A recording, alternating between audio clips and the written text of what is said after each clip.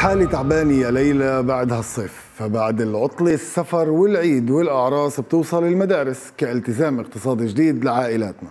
وسمعتوا حديث نبيل من شوي عن أوضاعنا بالبنوك حملات كثيرة في بلداتنا العربية عم تطلع بهالفترة وبتهتم بمساعدة العائلات على تجاوز هالمرحلة بأعباء أقل.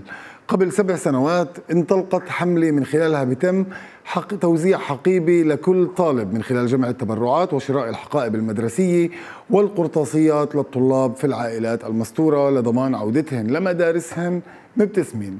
معنا للحديث عن تفاصيل هالمبادرة مبدا كيال يعطيك العافية مبدا الله يعافيك مصطفى. نحكي شوي عن عن حقيبة لكل طالب كمشروع قبل ما نتوسع بالحديث. نعم حقيب لكل طالب هو مشروع اللي عمره اليوم 8 سنوات السنة الثامنة.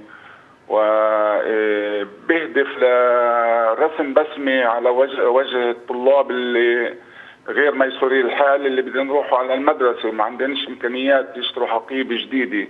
واليوم الأول عند الطلاب هو أحلى يوم وبنحب الطالب يروح على المدرسة بمعنويات ونفسية.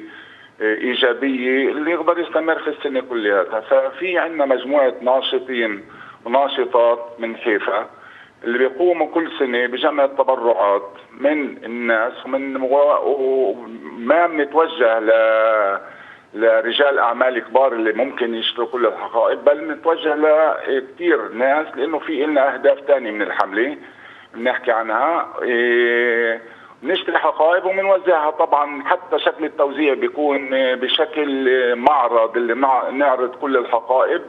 الطالب أو الولد بفوت بنقي الحقيبه اللي بتعجبه هو اللي بده إياها وباخذها وبيطلع من عندنا مبتسم. وطبعا إحنا كمان بنبتسم لأنه هذا بيعطي اكتفاء ذاتي لنا كمان. يعني لما قلت بنوزع الحقائب هذا بقول إنه ما فيش أي مقابل مادي ولو حتى رمزي مقابل الحقيبة؟ لا ولا أي مقابل حتى العيل اللي فيها أكثر من طالب يعني فيها ثلاث طلاب أربع طلاب خمس طلاب. نعمل حساب إنه كل الإخوة ياخذوا مش واحد ياخذ والثاني يروح بلا حقيبة.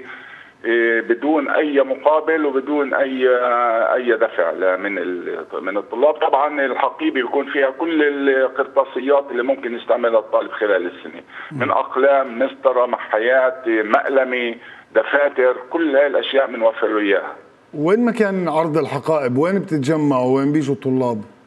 عادة في مركز الأخوة في وادي النسناس آه، مركز جماهيري فيه من آه، نعرض الحقائب.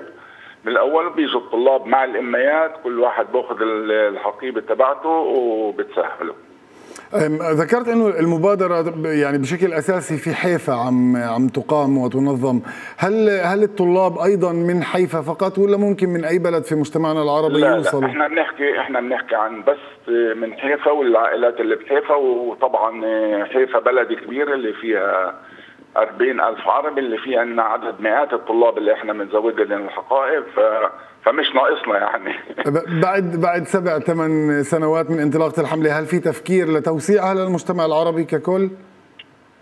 إيه مني أنا شخصيا لا فيش تفكير هيك بس بالصدفه يعني في ناس اللي هاي السنة إيه طلبوا مساعدة كيف إنه ممكن يقوموا بالحملة في في حي ثاني بحيفا وقاموا بالحملة ونجحوا إحنا مستعدين طبعا نساعد أي واحد بده مساعد إنه يعمل الحملة في بلده إيه، نساعده وكمان يقوم فيها.